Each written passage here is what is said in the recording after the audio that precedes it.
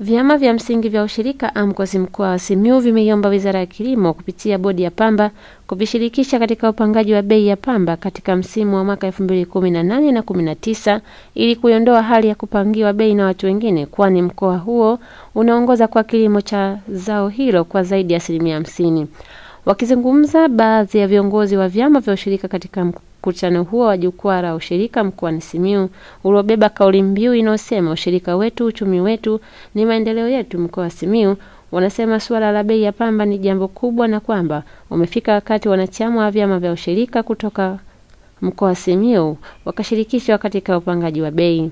Jamii ishirikishwe kupanga hii bei kuanzia vijijini, watu waelewe kwamba safari hii bei tutakwenda kuita, tumepata tumekusanya kilo kadhaa, tunataka sasa hivi bei yetu iwe hivi. Lakini mimi ningependelea labda tukitaka kufanya ushirika mzuri, pamba ingekusanywa, ikusanywe kwenye ghala moja, tutafute soko, soko lipatikane pale pale kwenye, kwenye kijiji, kulikoni kwenda wakapange kule watu, tuwaite matajiri waje watununulie.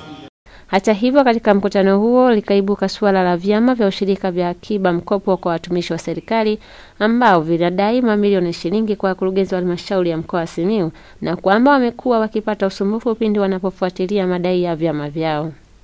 Ilitolewa agizo kwamba wakurugenzi wote walipe pesa za vyama vya ushirika I mean SACCOS za watumishi, lakini mpaka sasa wanalipa wanavyopenda wao. Hivyo basi watumishi watendewe haki ili waweze kulipwa e, fedha zao na ziweze kuendeleza hivyo vyama, kwa sababu hivyo vyama vinawasaidia sana watumishi kutoingia kwenye mikopo isiyokuwa na utaratibu. Wanakopa kwenye sakosi zao kwa imani na kwa heshima, lakini wanaponyima kurudisha hiyo mitaji, wanachama wanakata tamaa kuendeleza sakosi zao za watumishi. Sakosi za watumishi zikiimarika, hata waajiri wetu watakuwa na unafuu, kwa sababu huduma nyingi mwanachama atapata kwenye sakosi yake.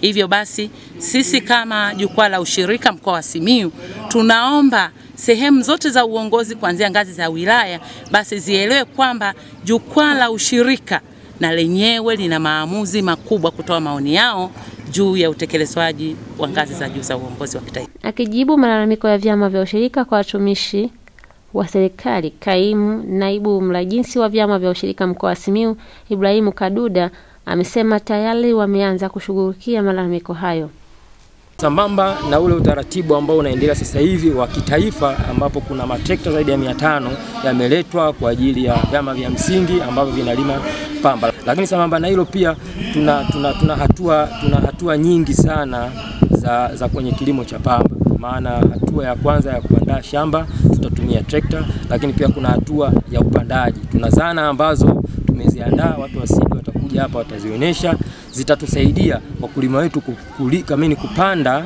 kupanda pamba zao kwenye mstari ili kuongeza uzalishaji na kupata pamba iliyo bora.